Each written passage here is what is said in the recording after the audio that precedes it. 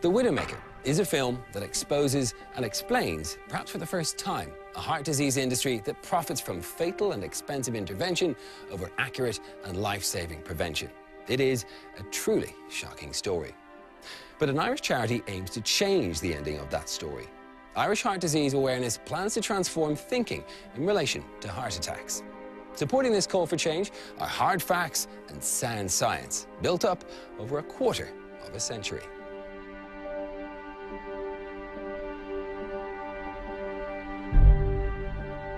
Most cardiovascular disease could be detected much, much earlier with a simple, non-invasive and once-off calcification test. The test produces a score running from zero into the thousands, and that score correlates with the amount of heart disease in your arteries. And when it's discovered, heart disease can be treated and managed, just like we do with any other disease. But cardiovascular disease isn't just any other disease.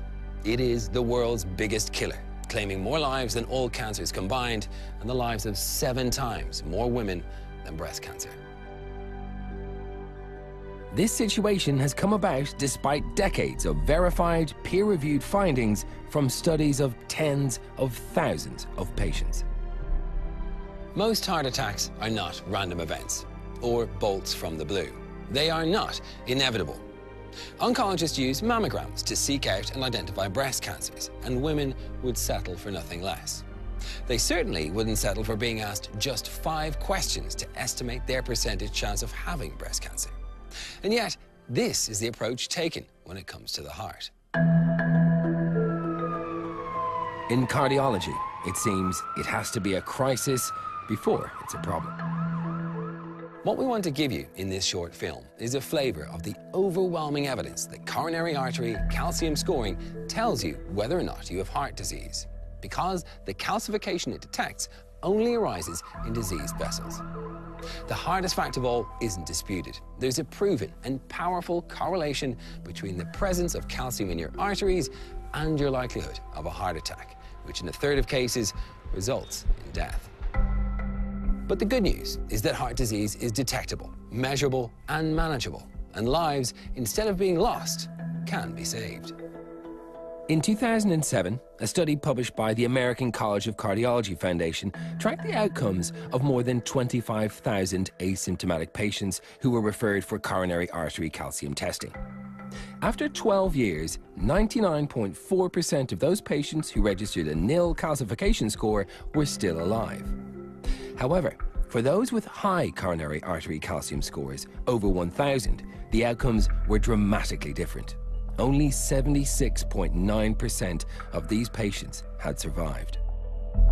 Between these two extremes were many patients who registered scores that were not yet dangerously high, but they now knew that their level of disease would need to be managed. The higher the calcium score, the higher the risk. In another study, over 44,000 asymptomatic patients were referred for coronary artery calcium testing and their mortality rates assessed. 45% of these registered a nil score and 99.5% of them were still alive at the end of the study. So, research has established that the absence of calcification is good news for patients. But what about those people that do register high calcium scores? Well, in 2009, a review of 13 major studies was published covering over 85,000 patients. Its figures revealed that patients with calcification are eight times more likely to have a cardiac event than those without. This echoed a study published in 2000 by the American Heart Association, which discovered that 70% of all cardiac events happened in the top 25 percentile of calcium scores in each age group. Many preventive cardiologists argue for a mindset shift when it comes to heart disease. Their passion is not based on gut, nor hunch, nor intuition. It is based on evidence. In fact, an expert review on coronary calcium in 2008 concluded that overall, coronary artery calcium is a better predictor of events than all the other risk factors combined, since it measures actual disease. The review confirms that traditional Framingham score risk assessment still fails to identify many asymptomatic patients until it's too late. The American Heart Journal published a study of over 136,000 people presenting at 451 hospitals after heart attacks. The study revealed that half of them had normal LDL cholesterol. And even for those that are identified, exercise stress tests or angiograms in asymptomatic patients may miss many of the most vulnerable cases because the artery blockages that the tests seek are not the cause of the majority of heart attacks or sudden deaths. 70% of heart attacks are instead caused by the sudden rupture of soft plaque. That's why so many asymptomatic patients go straight from just fine to dead. The real value of the calcification test is that it allows us to accurately detect whether or not there's actual disease in individual patients. Patients that might otherwise be inappropriately classified as middle risk by the Framingham population approach and middle risk is where most heart attacks occur. People with high coronary artery calcium scores are immediately reclassified as high-risk patients. They learn that they have a time bomb ticking in their chest. It is natural, as we all get older, that our calcification score will grow. After all, heart disease is progressive. What is cause for particular concern is when your calcification score grows in excess of the average for your age. That's what the test tells you, that there's disease in your arteries. A 2006 study in the European Heart Journal demonstrated particularly effectively the predictive power for the individual of calcification testing versus other methods of population risk assessment. It studied over 10,000 asymptomatic patients and found that smoking doubled the risk of death due to heart attack. No surprises there. But the study also revealed that a non-smoker with a coronary artery calcium score in excess of 1,000 was seven times more likely to die than a smoker with a score of zero. More than 20 major studies over 25 years have all added to the momentum behind calcium scanning as a strong predictor of future cardiac events. Together, they have accumulated irrefutable evidence that a high calcium score is bad news. It sounds almost too good to be true. So why would someone argue against the widespread adoption of calcium scores and persist with the old system? The skeptics will also point to cost. A scan is expensive at 250 euro. The IHDA asks if you'd readily spend 250 euro to know if your car might suddenly crash and kill you. Or would you rather pay 30 to 50,000 euro for a bypass or stent? That is, if you're lucky enough to survive a heart attack long enough to have the surgery. Critics will say that coronary artery calcium screening does not pinpoint vulnerable plaques. No, but it does identify the vulnerable patients. Like an iceberg, if you have calcified plaque above, you have dangerous soft plaque below. And knowing that would empower people to take control of their own health destiny.